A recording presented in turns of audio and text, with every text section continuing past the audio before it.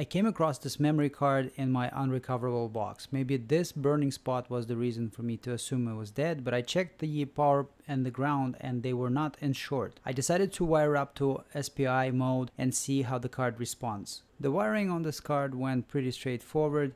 There were no surprises and within a couple of minutes I had a fully wired card ready for action. If you lost your data and you need to recover it, uh, all of our contact information is going to be in the description box of this video. PC3000 Flash comes with a very convenient adapter that can connect SD cards directly to it, but shortly after powering it on I noticed that it was just getting hung up and timed out. There had to be another way, so we decided to go with the NAND protocol instead. I began linking test points to the adapter for the corresponding signals and the entire wiring process can be watched on our channel in a full length video. The image was nearly perfect after we performed error correction and as a result almost 3000 images were saved.